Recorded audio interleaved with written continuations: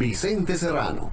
Bueno, ya llegó don Martín Unzueta a nuestros estudios. Gracias, Martín. Incansable defensor de los derechos de los trabajadores, un hombre activo en el movimiento proinmigrante y gran amigo en una amistad subversiva. Subversiva.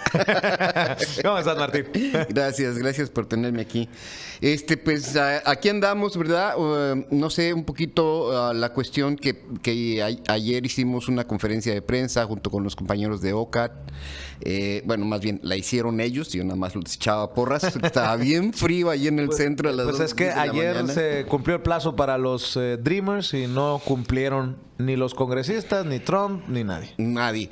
Sí, eh, pero en este caso nosotros estábamos hablando de, de que se estaba, se sometió por parte de OCAT un FOIA, que es una solicitud que puedes tú, hacer a cualquier dependencia del gobierno para que te informe de sus actividades o de lo que, o de lo que tiene. Acceso a la información. Acceso a la información, es el acta de acceso a la información.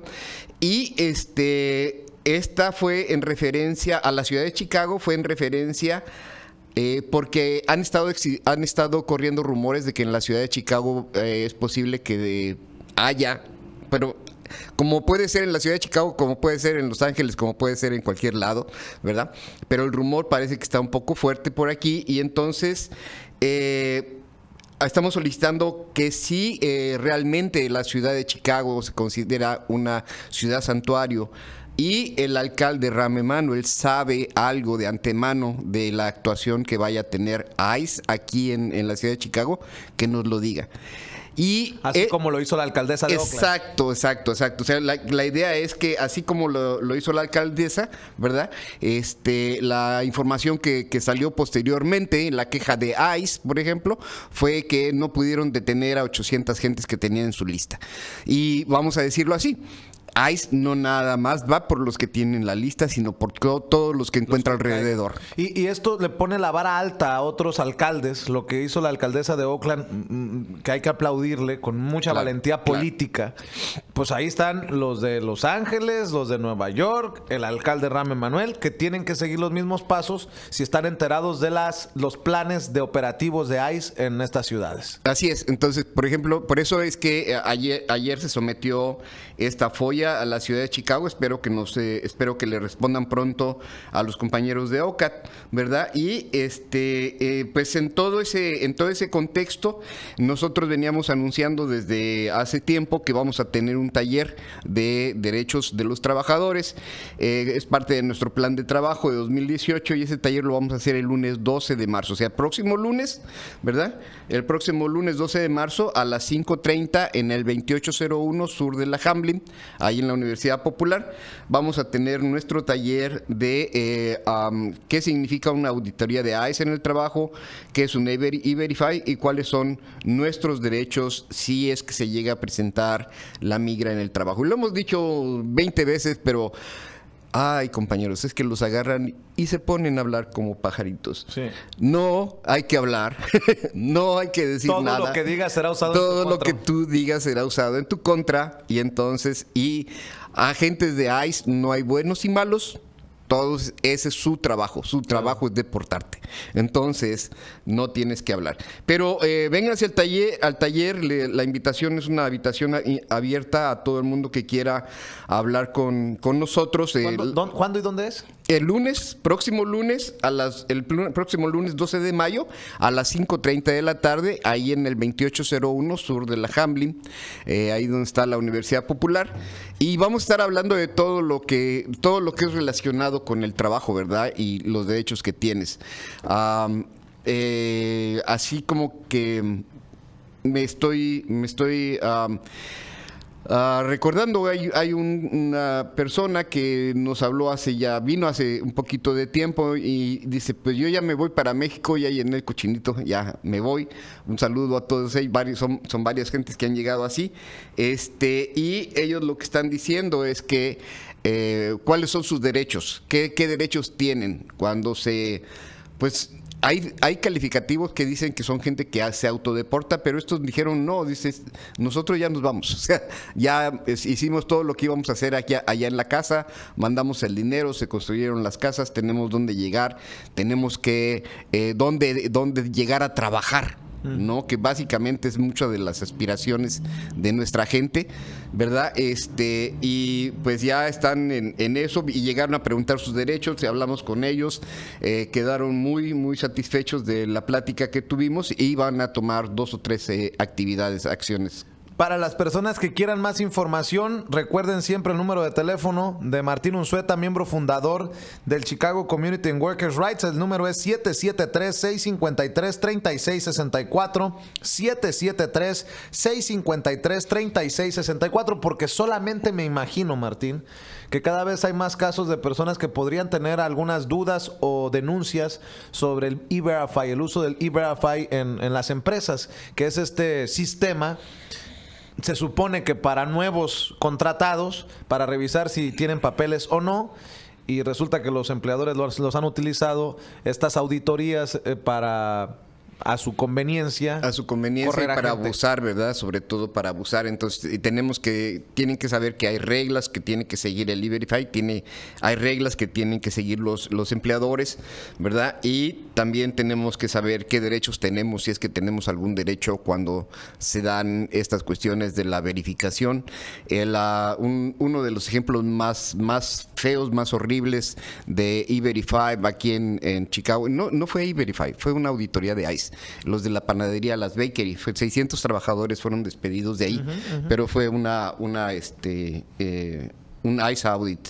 Y bueno, ahí sí no había forma de, de salvar a muchas gentes. Pero mira, eh, algunas personas de estas compañeros de que vinieron a la que, que, fueron de la panadería que estaban trabajando ahí llegaron con nosotros e investigamos verdad porque además nada más les dicen vete no no les dan ninguna información. Investigamos estuvimos hablando con ellos y, y haciendo varias cosas con ellos. Y a fin de cuentas verdad pues este si es una auditoría uno generalmente se tiene que ir pero si tienes algunos derechos, pues tienes que salvarlos, tienes que llevarlos contigo. Oye, Martín, una pregunta. Ahorita que estabas mencionando, hay personas que están dispuestas a irse.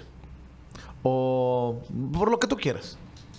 ¿Qué derechos tienen después de trabajar muchos 10, 15, 20, 30 años en esa empresa?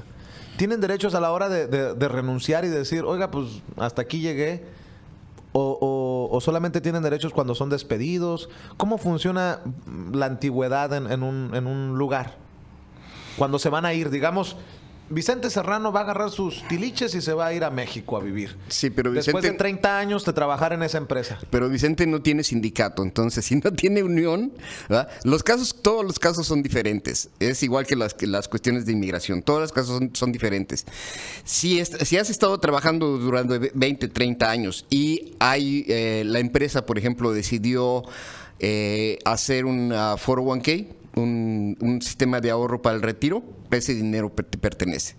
Si estás trabajando y tienes un sindicato y el sindicato tiene fondos para el retiro, ese dinero te pertenece. Si, eh, si, hay, si existe una, una, empresa con profit sharing, con, que es, que es básicamente eh, una distribución pequeña de las ganancias, e, ese dinero les pertenece. ¿no? Nos encontramos hace poquito una empresa que distribuía sus profit sharing solamente a los que tenían papeles. Entonces le tuvimos que meter allí una, una queja. Oye Martín, pero digamos que no tengo sindicato merezco algo por haber trabajado tantos años en una empresa? ¿Me van a dar algo o no tienen obligación los, los empleadores? No tienen obligación de hacerlo los empleadores. Lo pueden hacer. La, la, compañía esta de la pastelería, el bakery, les dio creo que dos semanas de, de trabajo a los, a los compañeros que se fueron. Nada más dos semanas. Dos semanas. Después de diez años de trabajo. Pero es porque quiso. No tenía por qué. No, tenía, no estaba obligado a hacerlo. O sea, fue un buen detalle. de parte de ellos. general. Sí. Y por cierto que ya la tuvieron que vender porque después ya no pudieron seguir trabajando. Eh, Martín, déjame identificar nada más la señal. Voy a identificar la señal del 750 AM para Michigan, Wisconsin, Illinois, Indiana y el estado de Iowa. Usted también está conectado a través de nuestras transmisiones en redes sociales, en YouTube, en nuestro canal Sin Censura Media, también en Facebook Live, en nuestra página oficial en Facebook, en Sin Censura con Vicente Serrano. Les agradecería un like, un me gusta y que le den share, que compartan para que más personas se informen sin pelos en la lengua, sin censura. También estamos transmitiendo a través de nuestra nuestra aplicación sin censura que pueden bajar en su teléfono celular, Android o iPhone en cualquier parte del mundo. Identificamos y seguimos la conversación con Martín Unzueta, miembro fundador del Chicago Community and Workers' Rights. This is WNDC. Portage, Indiana, Chicago. Estás escuchando WNDZ. Portage, Indiana, Chicago. 750 AM. Elige el único programa noticioso donde se habla sin pelos en la lengua. Sin censura. Con Vicente Serrano. El número de teléfono para que se comunique con los amigos del Chicago Community and Workers' Rights con Martín Unzueta, miembro fundador, 773-653-3664. 773-653-3664. Recuerde, lo atienden los lunes por la tarde en Universidad Popular a partir de las 4 de la tarde. ¿3 de la tarde? ¿4 de la tarde? ¿3 o 4? 3 de la tarde. 3 de la tarde ahí en Universidad Popular en la 28 y la Hamlin en la Villita y los miércoles por la mañana a partir de las 10. A partir de las 10 de la mañana los miércoles. Eh, Martín me pregunta, Mina Good dice, Vicente, ¿puedes preguntarle si tienes trabajando por más de 25 años en una pastelería y trabajas con el ITIN? ¿Puedes recibir alguna pensión en donde se encuentre uno? O sea, si está trabajando con, con ITIN, ¿tiene derecho a pensión? Esa sí me la pusieron bien difícil. No, no sabría. El IT number no es un número de seguro social. Yo creo que no, pero vamos a. No, pero podemos investigarlo. Sí, seguramente para la semana que entra yo le tendría la respuesta. Pero este, el ITIN no es un número de seguro social. El ITIN es un número para pagar impuestos. Bueno, nada más, eh, Mina Good, le prometo que el próximo martes nos vamos a darle más información acerca de esto. María Carrillo, en el área de Chicago, Martín tiene una pregunta para ti en la línea Sin Censura. María, con mucho gusto la escuchamos aquí en Sin Censura. Cuénteme. María. María Carrillo. ¿Sí? ¿Cómo está? Muy buenos días. La escuchamos aquí en Sin Censura. Cuénteme. Sí, mire, yo quería hablar así en privado con usted porque el Estado, porque es respecto al trabajo, ¿verdad? Lo que está pasando en el trabajo. Sí, sí. Ajá, y yo quería ver si podíamos hacer una cita con usted o... Ajá, porque ya ve que no se puede hablar así porque luego agarra represalias con uno. Eh, ¿Quiere hacer una cita con Martín Unzueta? Ajá, sí. Ok. Mire, María, eh, le voy a dar el... ¿Puede apuntar el número este? Un momentito. Por favor. Sí, dígame. 773 773 653 653 3664 3664. Nada más yo ya le he dejado mucho, yo ya le he dejado muchos mensajes a ese número y no me regresan la llamada. Bueno, le van a regresar la llamada ahora sí. María, una pregunta. Nada más dígame, ¿de qué se trata? Es que mire que nos, en vez de, bajarnos el, el eh, subirnos el sueldo nos lo bajaron a mitad Ok, muy bien. Eh, ya está enterado Martín Unzueta, ya tomó nota, ya lo puso en su cuaderno y déjele un mensaje, ah, márquele en estos momentos y me aseguro que, que, le aclaren la situación que tengan que aclararle, María. ¿Sale? Ok, está bien, muchas gracias. Gracias, María. Eh, ¿es, permitido eso? ¿En lugar de que te suban, te bajen el salario? Por ley? Pues la empresa. Mientras no te paguen menos del salario mínimo. Es, eh, eh, es, y son varias de las cosas que tendríamos que, atender. Claro, no te pueden pagar menos del salario mínimo. Pero también en el estado de Illinois eh, es una. es La regla en la cuestión del trabajo es que es una. Le dicen aquí at will. ¿Verdad? Es si tú quieres trabajar eh, allí, eh, es tu, tu, tu, deseo de trabajar ahí. Si ya no quieres trabajar ahí, nada más te vas y ya, ¿no? Este, y, en, y, en, eso, pues, quien, quien tiene el control de todo, pues son las empresas, ¿no? Tienen el control del piso de la compañía, etcétera. Quienes en alguna forma pueden disputarle a la empresa el poder que tiene para tomar decisiones son las uniones, son los sindicatos, ¿verdad? O es la misma gente organizada. Yo he visto muchas partes, eh, personas que, han, que, están, que se autoorganizan para, para enfrentar a la empresa este, y, llegar a negociaciones bien concretas. Eh, y ese es uno de los derechos en base a la ley, pero, ¿verdad? Sí, la empresa eh, tiene el poder digamos, no tendrá el derecho, pero tiene el poder de, eh, de jugar con los salarios de las personas. Martín, entonces tienes eh, eh, un taller este lunes. Este, este lunes a las 5.30 de la tarde en el 2801 sur de la Hamlin. vamos a tener el taller acerca de lo que, eh, las, la, es un ICE Audit, qué es una E-Verify y cuáles son nuestros derechos acerca de esto.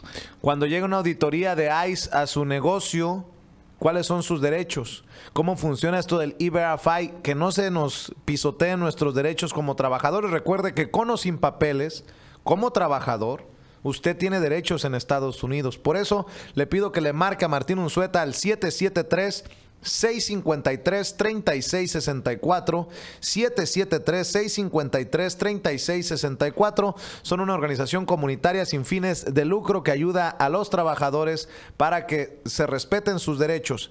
Si usted ha sufrido o cree tener un caso de discriminación, de acoso sexual, de violación de sus derechos laborales, llame 773-653-3664. ¿Con qué nos despedimos hoy, Martín? Ah, bueno, haciéndoles la invitación, ¿verdad? Y si no pueden venir el lunes, pueden venir el miércoles eh, y que eh, tengan en cuenta que necesitamos estar preparados. Ah, viene otro aumento de salario el día primero de julio. Este, pues, que nos llamen. Y, yo le quiero decir a la señora, si, eh, si me ha dejado ya recado, seguramente pronto vamos a, regresarle la llamada. Esta semana ha estado bastante cargadita de llamadas, ¿sí? Y, este, y siempre les damos, les damos un seguimiento. Eh, no me ha llamado. Ok, pero pues que te llame. ¡María! Llámeme, María. llame, María. Eh, y se refiere Martín Unzueta al primero de julio, aumento al salario mínimo en, la ciudad de Chicago, ciudad de Chicago. y en el Cook County. Muy bien, en el condado Cook. Muy bien, pues Martín Unzueta, recuerde que lo espera, espera sus llamadas en el 773-653-3664 y de 3 de la tarde en adelante los lunes en la Universidad Popular 2801 al sur de la Hamlin y los miércoles a partir de las 10 de la mañana. Ahí te va esta para que te vayas enchilado, Martín. Presidente municipal